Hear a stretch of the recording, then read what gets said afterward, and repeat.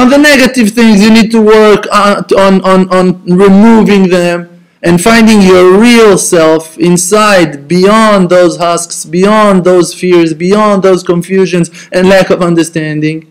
And then, one layer after the other, you're going to search, you're going to find your real self that is perfectly good, that it's Him, that it's Hashem Himself lives inside of you, that wants only to have mercy. The exile is, is, is, is on, the darkness is on. So it's blocking the light. So the world is here. The empty space is, is blocking us from infinity. Our bodies, all kinds of blockings and curtains that are, are, are shading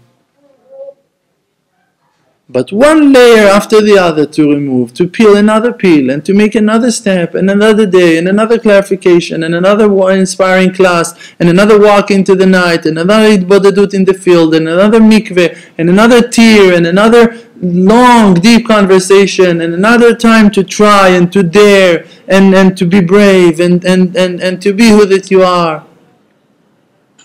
And along the way, with the years, suddenly you look back and you say, whoa, it's a huge change.